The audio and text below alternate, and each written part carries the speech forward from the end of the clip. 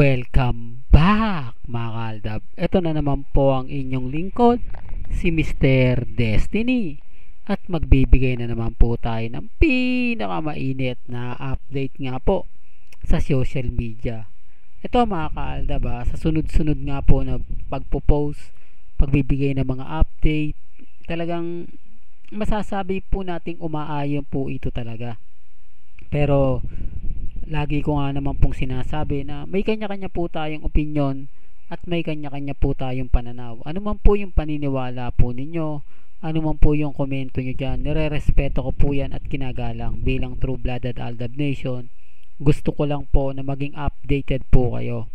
Doon po sa may question na sa ina-update natin na kumbaga wala daw po doon si Alden, kumbaga ang magka-andun lang po si Mr. Tobiera as, ang asawa niya at nag-iisa lang daw po si Main Polkerson. Mali po kayo.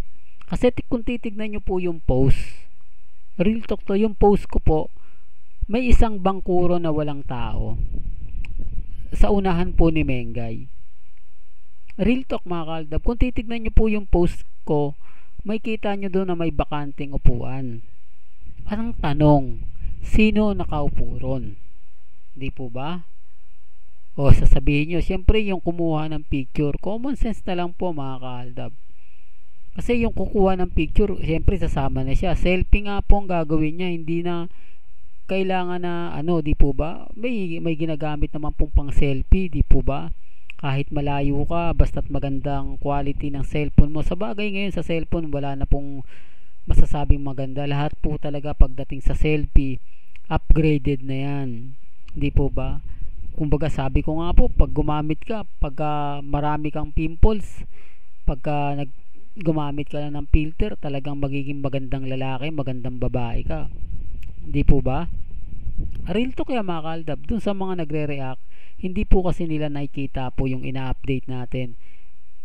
Pagka nagbibigay kasi tayo ng update batikos po agad yung sinasabi nila. Totoo naman po mga kaldab eh hinahanapan po agad tayo ng mali, hinahanapan agad tayo ng mga hindi maganda. Pero alam naman po nila na true-blooded Aldab Nation tayo, di po ba? Lalo na po kay Alden. Kita nyo naman mga ka-Aldab, wala naman po tayong sinasabi na wag nyong tatangkilikin, di po ba? Kapag may la, kung may mall tour nga po yung startup, ina-update ko po kayo. Tapos sa bandang huli, tayo po sisisihin, tayo daw po ang nagda-down sa teleserye nila Alden yung desperadong galawan di po ba? Tapos sasabihin fake news okay lang pero dapat nagmamasid din po sila. Gaya po ng iba yung iba po mga kaaldab na dumadaan po sa channel natin na napapaisip din po talaga. Sabi, parang totoo nga ata sinasabi ni Mr. Destiny pero bakit may mga ganito? Saraswela lang po kasi yon sa mga dumadaan dito kung bakit nagtataka kayo may congressman spotted at Megay. Sarswela lang po yon. Kung susubaybayan nyo po yung channel ko, malalaman at malalaman po din nyo. Well, punta na po tayo sa ating pinaka main topic. Gaya nga po ng post ni Mr. Tobiera kasama si Alden, kasama si Mengay, kasama si Jackie. Tapos biglang nag-post nga po na kasama ni Mr. Tobiera si Attorney Goson. Medyo nakapagtataka. Di po ba? Mapapaisip ka bakit nga po kaya magkasama itong si Mr. Tobiera at GMA Sparkle Artist Center ano kaya di po ba o alanganin na kukuha pa ng talent si Mr. Tobiera eh meron na silang bida next di po ba real talk mga kalda balanganin kukuha pa siya sa GMA uh, Sparkle Artist Center gayong kumukuha nga po sila ng mga artista audition galing po sa kanila. O galing po sa Itbulaga. Doon pa lang mapapaisip na po kayo eh. ako dito mga kaldab sa channel ko binibigyan ko po kayo ng palaisipan. Hindi po porket na andyan nga po ikukuha ng artista hindi po mahilig kumuha ng artista ng direkta ang Itbulaga. Nag aano po talaga yan nagpapa-audition bago nila kunin bago nila gawing artista nila sa 8 Bulaga o taping artist kumbaga Di po ba? Real talk to mga kaaldab. At dito nga po pumapasok na sinasabing kumbaga si Alden nga po raw eh pinipilit ni Mr. Tobiera na pumirma ng kontrata si Mengay.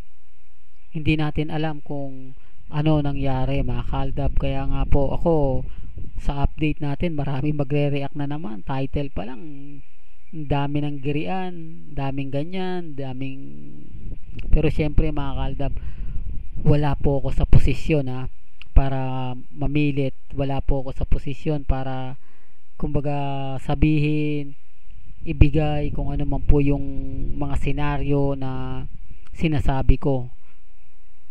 May kanya-kanya po tayong pananaw at may kanya-kanya po tayong opinion ako bilang True Blooded Aldab Nation ginagawa ko lang po ito para maging updated kayo ginagawa ko lang po ito para mapaisip din po kayo Di po ba kasi hindi hindi ito ano ha, nagkataon lang mga kaaldab, mukha talaga tong sinasadya. Di po ba? Kasi unang pinost si Mengay, si Alden, si ni Direk Mike. Di po ba? Doon pa lang may mali na eh. Doon pa lang mapapaisip ka na. Tapos agad-agad may post naman po nakasama. Real talk to mga kaldab kasama naman po ni Mr. Tobiera yung GMA Artist Sparkle Center. Kumbaga, well, mahirap pong magkomento, mahirap magsalita. Kumbaga, ang sa akin lang mga kaaldab, hindi pa po tayo sigurado kung talaga nga po bang pumirma ng kontrata si Mengay sa APT o kumbaga pinilit ni Alden si Mengay na pumirma ng kontrata. May kanya-kanya tayong senaryo dyan mga kaaldab. Hindi po ba napakagandang imbestigahan to pero uulitin ko wala po ako sa posisyon para magsalita. Wala po ako sa posisyon para ipagpilitan po kung ano yung eh, kung ano yung update, kung ano yung sasabihin, di po ba? Ang trabaho lang po natin, imbestigahan to, kumbaga ibulgar yung mga dapat na ibulgar, isigaw kung ano yung dapat isigaw. Di po ba? Ako bilang true-blooded Aldab Nation, uulitin ko lang po, may kanya-kanya po tayong pananaw at opinion. Napakarami po ngayon nagbibigay ng update. Napakarami ngayon nagbibigay ng mga istorya. Pero sa tingin nyo po ba, paniniwalaan ninyo? Yun lang naman po kasimple. Ako, hindi man ako makapagbigay sa inyo ng pinakamaganda at the best at least sa mga ina-update ko mapapaisip po kayo. Di po ba? Gaya nga po ngayon uunahin ko doon po sa may bakanting upuan ni Mengay. Doon pa mismo sa tabi niya. Di po ba? Sa unahan niya kung nakikita nyo po kung napanood nyo po yung ina-update natin mapapaisip po kayo doon pa lang. At bakit timing na timing po yung paglabas ng picture ni Mr. Tobiera ni Mengay at ni at ng GMA Sparkle Artist Center. Kumpleto yung management ha? Kumpleto po sila. Parang kung titignan nyo at kung susuriin parang may nag contract signing. Pero syempre wala po ako sa posisyon para pilitin kayong maniwala. Wala po ako sa posisyon na kumbinsihin kayo Basta sa akin mga kaaldab, ang gusto ko lang po maging updated po kayo pagdating po kila Main Polkerson at Richard Polkerson. Bahala na po kayo magkomento. Well, hanggang dito na lang po yung updates natin mga kaaldab.